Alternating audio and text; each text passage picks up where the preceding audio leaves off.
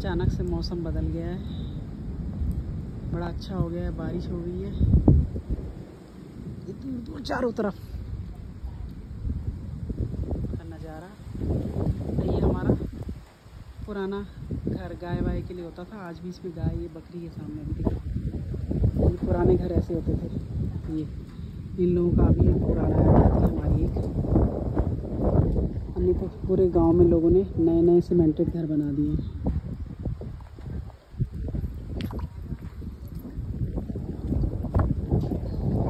अरे तुम तुम यहाँ हो तुम यहाँ हो भैया अरे अच्छा अच्छा अच्छा अच्छा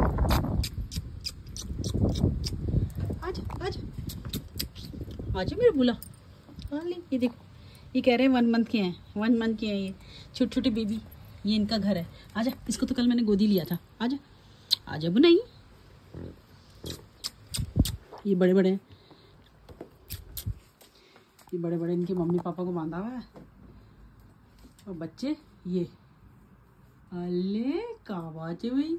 कितना प्यारा है वो, देखो पीछे। पता नहीं कैसे। क्या करें? इन लोगों की मजबूरी है, यहाँ कोई इनकम की साधन नहीं है। जिन्होंने रखी हुई हैं, वो पहले कहीं काम करते थे, फिर उनका काम छूट गया। तो गाँव आके उन्होंने ये बकरियाँ रखना शुरू किया है। यहाँ तो अभी भी बकरियाँ बिकती हैं। देवी देवता पे चढ़ाई जाती हैं। वैसे भी लोग खाते पीते हैं। पर देखो कितने मासूम बच्चे, पता नहीं कैसे लोग। क्या बताएँ अब और इतना पाल पोस के ये लोग कैसे इतनी हिम्मत कर लेते हैं बच्चे को कहीं देने की, वो भी कटने के लिए। आजा बच्चे चले आजा आजा आजा। चीनू चीनू। ये है चीनू। देखो, नाम सुन रहा है। चीनू, आ। इसका नाम नहीं पता, पर उसका नाम मुझे पता है।